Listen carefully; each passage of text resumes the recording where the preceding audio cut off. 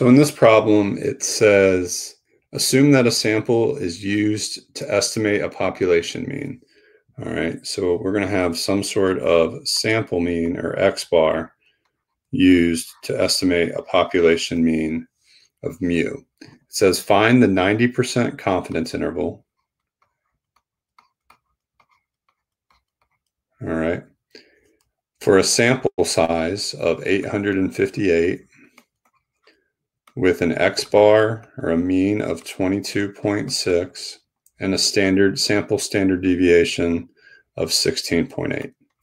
So in order to get the 90% uh, confidence interval or confidence interval for any mean where you are given sample data, okay, you're going to have to use the critical t value. So the formula is going to become x bar plus or minus your critical t I'm assuming this question wants you to use critical t times the sample standard deviation over the square root of n. Okay. Now, the way you're going to find t star, I'm actually going to use a calculator for that. All right. So the t, if I think about the t distribution, if I think about the t distribution, since n is 858, the degrees of freedom is going to be one less than that. All right. So what I want, I want 90% confidence. So I want the middle area to be 90%. And each of the tails would have 0.05 because there's 10% remaining and half uh, is, is in each tail. So T star is going to be right here. Okay. And I'm going to use a calculator to figure out what T star is.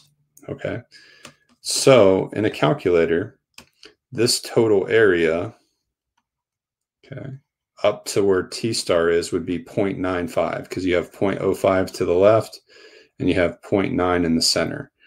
So in my TI-84 calculator, I'm going to do inverse T with a left area of 0.95 with degrees of freedom equal to 857 and the calculator tells me that T star, or your critical T, is going to be equal to 1.6466335529. Now I'm just going to store that in my calculator because I'm going to need that in the calculation.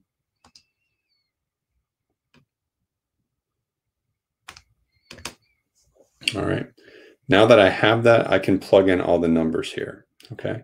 So X bar, okay, let me do it in a different color here.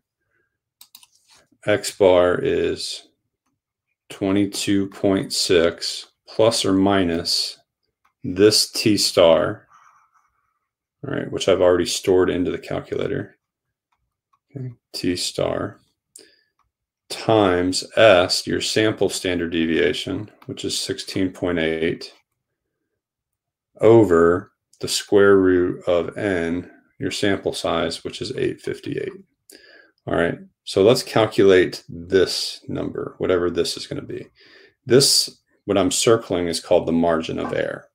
All right, so if I take that 1.646633529 multiply it by 16.8 over the square root of 858.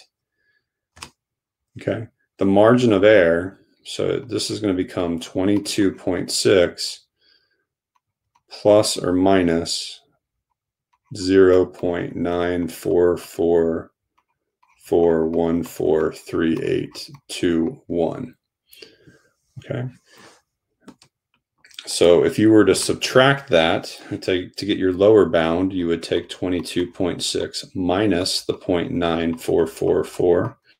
And to get your upper bound, you would take 22.6 plus 0.9444. All right. So if I were to calculate that out,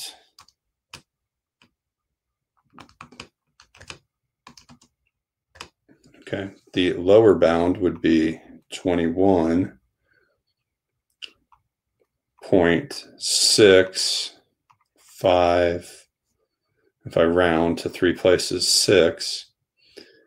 And on this side, it would be 23.544. All right, so that means mu, the true mean, we're 90% confident that the true mean falls between there. Okay, and if you have a TI-84 calculator, you can actually confirm that if you go to stat, then go over to your test sections and run a t interval. Okay, I'm just going to verify that this is correct by using the t interval test on my calculator. So x bar is 22.6, standard deviation is 16.8, sample size is 858, my confidence level is 0.90. I'm going to calculate 21.656. That number agrees with what my calculator says. And 23.544. All right. So that is the correct answer, assuming that your teacher wants you to use a T interval and not a Z interval. But you should be using a T interval because the sample standard deviation is known and not the population. So that will do it for this video.